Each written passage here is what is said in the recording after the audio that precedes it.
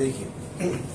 Capacitance of parallel plate capacitor इसको आप चाहें तो कह सकते हैं एयर कैपेसिटर कैसा कैपेसिटर एयर कैपेसिटर का मतलब ये नहीं, हवा का बना दिया आपने कैपेसिटर हवा ली और ये हवा ये हवा, वो हवा कैपेसिटर बना दे।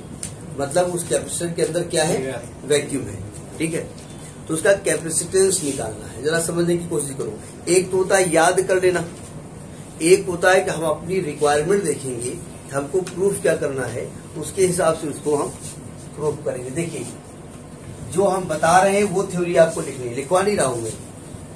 जितना डायग्राम में बताया जा रहा है कि let X and Y be the two plates of capacitor X और वाई दो प्लेट कैपेसिटर की हैं।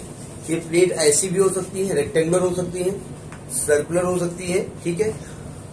उनको जो रखा गया है मान लिया सर्कुलर प्लेट आप लेते हैं इस प्रकार से, ये मेरी नहीं है। नहीं, मैं बता देता हूँ रखी हुई है। ये सर्कुलर प्लेट आपने लिया है, लेकिन आपने रखा ऐसे है, इसलिए ये वाला पार्ट आपको दिखाई पड़ रहा है। ठीक है? रेक्टेंगुलर प्लेट आपने ऐसे लिया है, लेकिन रखा ऐसे है, इसलिए प्लेट दिखाई पड़ रही है। तो हमने क्या किया? Given plus Q charge to the plate X plate X को हमने क्या दिया? प्लस क्यू चार्ज दिया।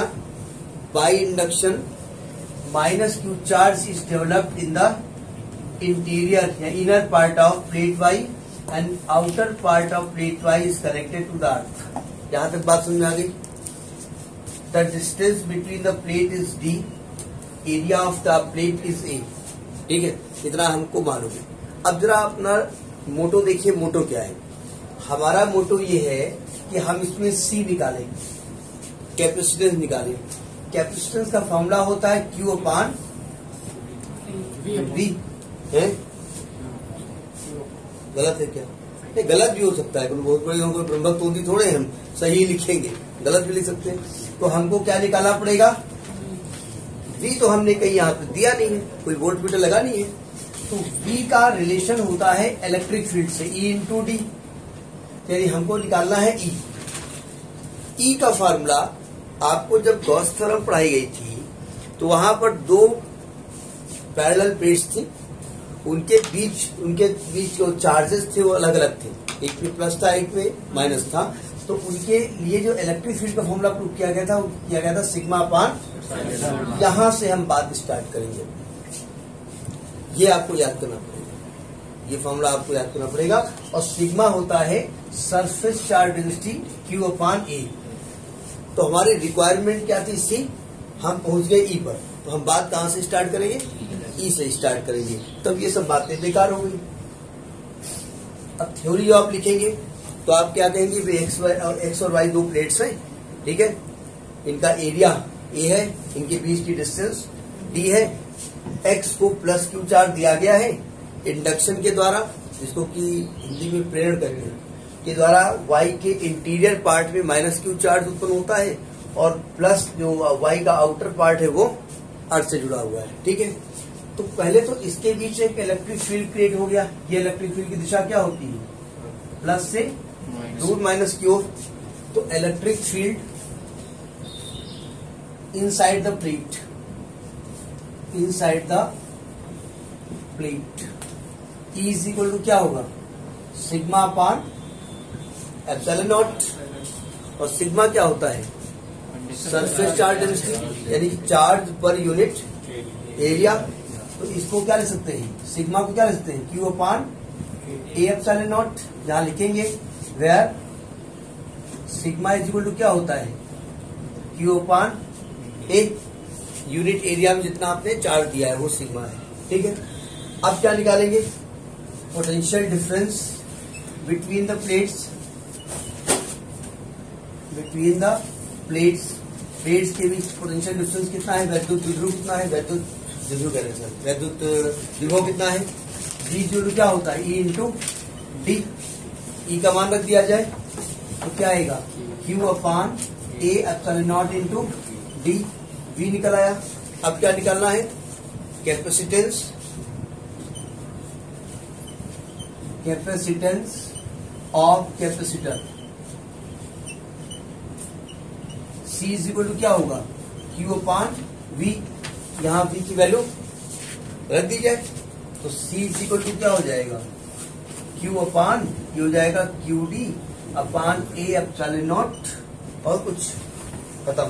डी डी कैंसिल आउट तो C is equal to A epsilon naught upon D तो this is the capacitance of a parallel plate air capacitor ठीक है note करिए इसको। अब अगर हम मान लें, मान लेते हैं कि इसके बीच में कोई डायरेक्टिव कांस्टेंट के वाला मटेरियल भरा है। यानी एक स्पेशल केस यहाँ ले सकते हैं। स्पेशल केस अब आप कहेंगे साहब आपसे जो एयर कैपिटल बोला है, हम बोला नहीं हो मैंने लिख लिया है। उन्होंने केवल ये बोला था कि आपको कैपेसिटेंस निकालना है। तो if there is any material there is any dielectric material dielectric material between the plate between the plate अगर इन प्लेट्स के बीच में कोई डायलेक्ट्रिक मटेरियल भरा हो तो देन देन कैपेसिटेंस जो हो जाएगा कैपेसिटेंस इसको सी सी डैश मान लीजिए तो यहाँ पर के और हो जाएगा के एफ़ साइलेंट पॉइंट डी हमने बताया था अगर मीडियम है तो आप वहाँ पर के इंट्रोड्यूस कर दीजिए। तो ये फॉर्मूला भी आपको आ गया। हम चाहें तो सी डैश इक्वल के सी लिख सकते हैं। सी बोले तो इन एयर और के टाइम्स कर देंगे तो मीडियम में हो जाएगा। अच्छा एक चीज़ इससे आपको दिख रही है कि जो कैपेसिटेंस है इसका, वो किन किन बातों पर डिपेंड करता है। एरिया के प्रोपोर्शनेट है। हमने कल स्टेटमेंट लिखवाया था। बताया था आपको इम्प्रूव भी हो गया। ठीक है? के के प्रोपोर्शनेट है और डी के इन्वर्सली है। ठीक है? तो कल बताया गया था डायरेक्ट और प्रूफ आ गया। नोट करिए इसको। देखिए, अभी तो हम बात कर रहे थे कैपेसिटेंस निकालना था जबकि दोनों प्लेट के बीच में एयर थी। पूरे के पूरे प्लेट में एक डायलेक्ट्रिक कांस्टेंट भरा हुआ था। अभी कहा गया पार्टली फ़ील्ड विद डायलेक्ट्रिक मतलब प्लेट के बीच में, पूरी की पूरी प्लेट के बीच में आपका मटेरियल नहीं भरा हुआ है, थोड़े भाग में भरा हुआ है। जरा समझिएगा। हमने कहा सपोज़ ये आपका ये आपका कैपेसिटर की प्लेट है एक्स और वाई ठीक है? आपने एक्स को प्लस क्यू चार्ज दिया। कहाँ से दिया? उसे कोई मतलब नहीं। हमने एक एक पेन लिया और अपनी खोपड़ी में जहाँ जहाँ बाल है वहाँ वहाँ ऐसे रगड़ा और ऐसे इसे टच कराते गए और जितनी बॉडी के इलेक्ट्रॉन है उसमें ट्रांसफ़र कर दिए, ठीक है? मालूम है बॉडी में इलेक्ट्रॉन होते हैं? तो रेजिस्टेंस कितना बॉडी का मैं बताया था आपको? बॉडी ह्यूमन बॉडी का रेजिस्टेंस कितना होता है?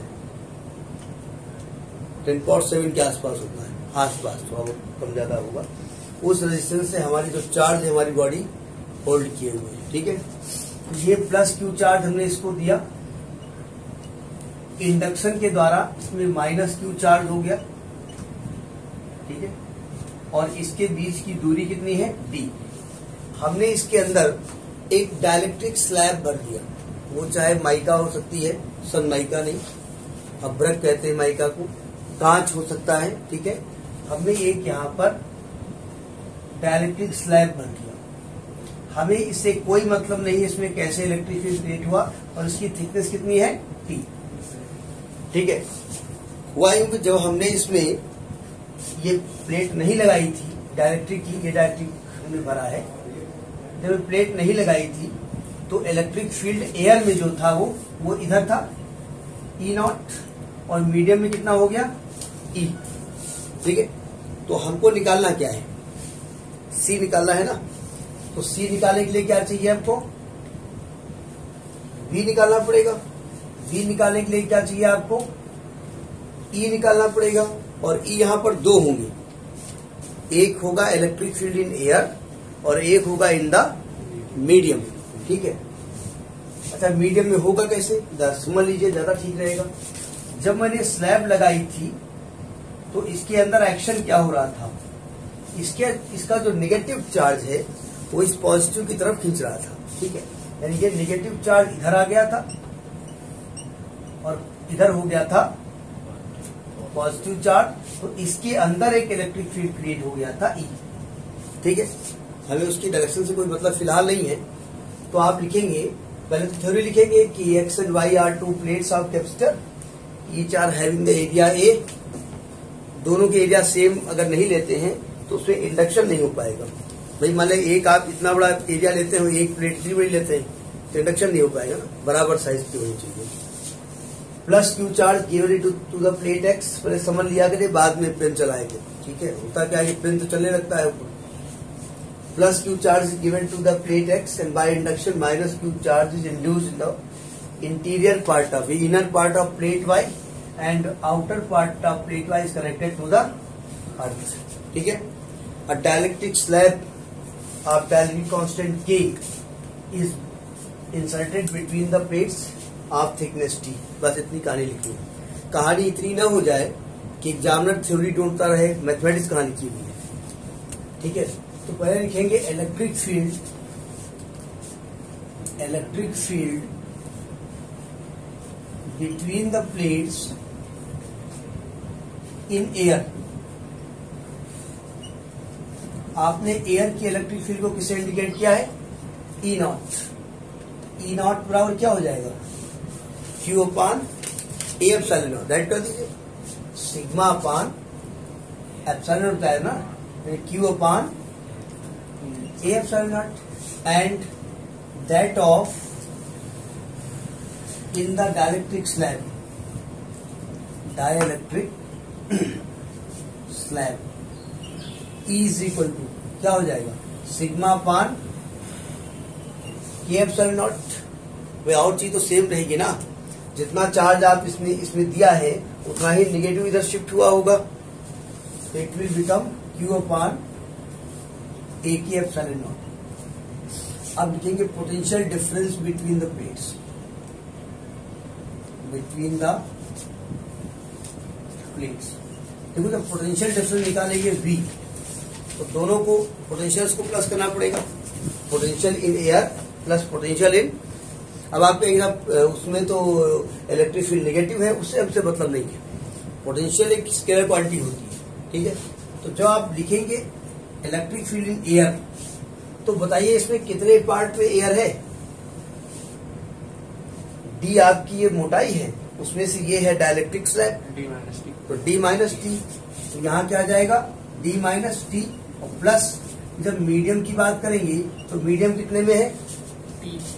मीडियम बोले तो? टी डायलेक्ट्रिक स्लैब तो ई का मान रख दिया जाए तो क्या आएगा? Q upon A epsilon naught D minus T plus Q upon A K epsilon naught into T तो Q upon A epsilon common ले लीजिएगा तो आएगा D minus T plus T upon K ये तो आ गया पोटेंशियल ठीक है? पहुँचे यहाँ तक।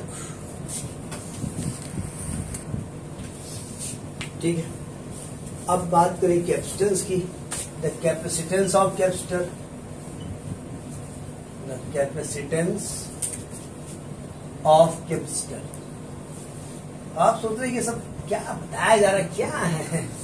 क्या करेंगे पढ़ के जिन व्यवस्थाओं में आज अब रह रहे हो ना पानी चाहिए तो नल से निकल आएगा, ठंडा चाहिए तो ठंडा हो जाएगा, गर्म चाहिए तो गर्म हो जाएगा जहाँ चाहिए वहाँ कर देंगे तो नल अपने आप आकर के मुँह में डाल देगा, ठीक है? रोबोट आकर के पानी डाल देगा, रोबोट आके खाना खिलाएगा समझा भी लेगा, नहीं आएगा। एक जेपी पैलेस होटल आगरा का वहाँ हमारे जानने वाले गए तो वहाँ देखा लेटरिन के सीट में शौचालय वाला पार्टी नहीं है सोचते पानी नहीं, कहा अब पूरा होटल में अंदर थे। तो वहाँ पर कॉटन पैड्स लगे हुए थे, हाथ पूछ रहे थे। तो सोचे इसीलिए लगे होंगे।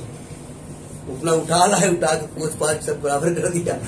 तो बैरा आया उसने कहा, भैया, वो कॉटन पैड्स जैसे बाहर से कहीं आए तो एक पैड कार्टून निकाली और आराम से हाथ ऐसे धो लीजिए बोले, वो तो अंदर बोले, अंदर नहीं बोले बटन लगेगी, वो सिस्टम हाथ आएगा सोचा चला जाएगा। और कहूँ कंप्यूटर वाला हुआ। और कंप्यूटर सॉफ्टवेयर लग गया वायरस हाथ आया हाथ साथ पकड़ के खींचे आदमी शौचावत ज़रिया, पता चला शौचालय पे करंट लग गए। तंत्र तंत्र आदमी करेगा क्या? बड़ी डरावना अब करना करिए।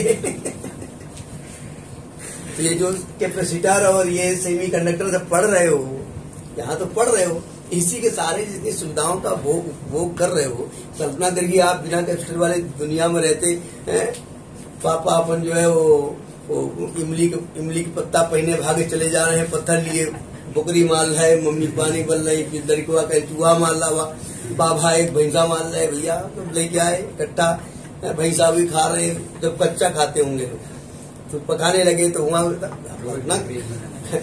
तो ये जो पढ़ रहे हो सब व्यवस्थाओं में इन्हीं का सब है। सर आपको ऐसे पता चला क्या? क्या? वही वाली बात। कौन सी वाली बात? वो हमारे जानने वाले हैं वर्मा जी। वर्मा जी। वो वो गए थे जेपी पैलेस होटल तो वो बताए तो वही अब हम लोग तो वही उन्नाव रहने वाले हम लोग तो नहीं गए। अब अभी आप कहीं होटल बटन दबाए हमारे साथ एक बात हुआ। एक जगह गए तो वो गए तो टॉयलेट तो बटन दबाए को तो सावर चला जाएगा। भीग गए तो भीग कैसे मतलब आप टॉयलेट गए तो मतलब भीग गए मतलब कहाँ मतलब ऊपर से कर रहे थे? हमने का हमने का उससे नहीं भीगे। हम भीगे मतलब वो साबर गिरा हुए यार रिकॉर्डिंग चली तो देखिए तो कैपेसिटेंस ऑफ़ कैपेसिटर निकालते हैं अगर आप तो सी इज़ इक्वल टू क्या हो जाएगा? क्यू अपान वी अब वी की वैल्यू उठाकर रख दो। तो क्यू अपान वी की वैल्यू क्या आएगी? Q T minus T plus T upon K upon A epsilon not ऊपर आएगा। ये कैंसिल हो गया। तो सी इज़ इक्वल टू आएगा A epsilon naught upon T minus T plus T upon T तो ये आपका capacitance of the capacitor having the dielectric material partly filled dielectric material not fully. ठीक नोट करिए इसको। अब यहाँ कुछ स्पेशल केसेस है, देखिए। स्पेशल केसेस इसको क्वेश्चन नंबर वन डाल स्पेशल केसेस पहला केस ये है कि अगर डायलेक्ट्रिक स्लैब जो है, वो कंप्लीटली उसके बीच में रख दिया जाए। यानी if slab is placed, slab is placed in the entire place, the entire capacitor पूरे कैपेसिटर में अगर आप स्लैब रख देते हैं तो स्लैब की थिकनेस किसके इक्वल हो जाएगी? डी के हो जाएगी। तो जरा इक्वेशन वन में टी को डी रख दीजिए। By equation one C is equal to A epsilon naught upon D minus D plus D upon K D D cancel out so C is equal to A K epsilon naught upon D इसकी पहले वाले proof में ध्यान रखिए, ऐसे ही proof किया था आपने। जब इंटायर सरफेस जो है, उसमें आपने डायरेक्ट्रिक मेटेरियल रखा हुआ था।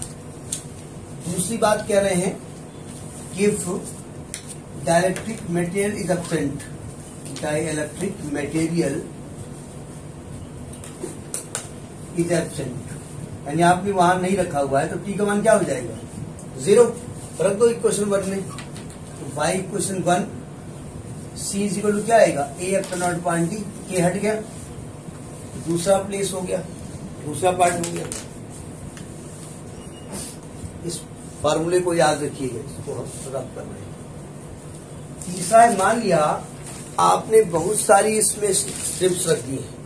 बहुत सारी डायरेक्ट्रिक मेटेरियल रखे हुए हैं, जिनके thickness T one T two T three है के वन के टू के थ्री उनके डायरेक्ट्रिक कॉन्स्टेंट्स है। तो तीसरा केस है if so many different dielectric material dielectric material is placed अब मान नहीं रहे कि उनके थिकनेस क्या है, वो अपने आप फॉर्मूले में हम रख देंगे तो C इज़ इक्वल टू क्या हो जाएगा?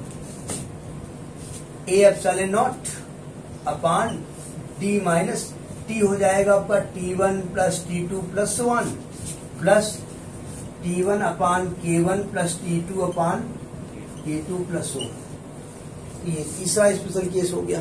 जितने भी स्लैब्स आप रखेंगे उन सबको है? If directly material is absent absent